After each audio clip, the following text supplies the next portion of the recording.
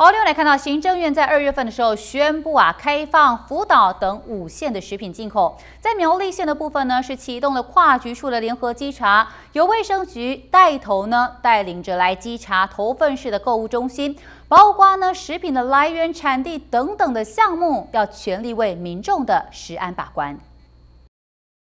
日本进口食品跨局处稽查，由卫生局带队，会同工商政风处和消保官共同前往头份购物中心进行联合稽查任务。苗栗县应政府开放日本福岛食品进口，针对福岛关东地区的五个县市九大类食品严格把关。二十三号稽查日本食品标示十四件，抽验两件水产品送验。除了从源头落实源头去做呃管理之外，我们会从食品的标示，还有加强抽验的部分。那其实目前到日到现在为止，我们已经去看了一百四十几家的食品的部分，目前是没有发现有日本呃福岛相关的食品进口。那可是我们持续还是会做这个计划。那针对日本的食品的标示比较特别的是，因为我们除了要标示原产地国之外，日本的呃进口的食品要标示到都道府县。落实源头管理，加强稽查产地标识，扩大高风险产品抽验为主要的管理面向，从输入、贩售等食品供应链，